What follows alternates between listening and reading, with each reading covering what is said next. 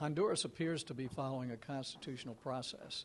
Uh, their constitution limits the term of the president to one term, and it also says very clearly that any office holder, including the president, who tries to change that aspect of the Constitution, immediately removes himself from office. That happened in Honduras. President Zelaya attempted to extend his term in office, working with Chavez uh, and Chavez money with the Congress, the Attorney General.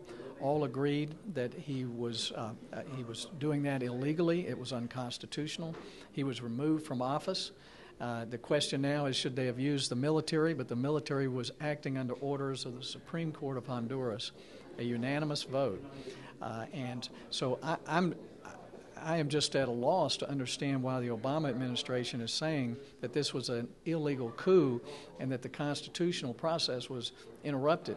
Uh, the facts don't appear to, to back them up. when the United States is on the side of Chavez, who hates us, who's trying to organize the whole region against us, uh, we've just got to ask if we're on the right side.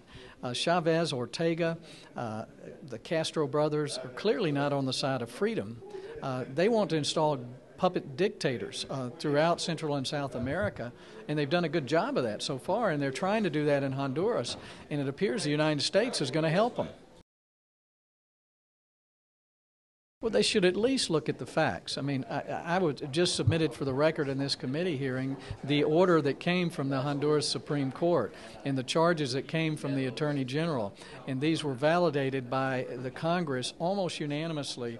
Uh, and this was a Congress control by Zelaya, Zelaya's own party.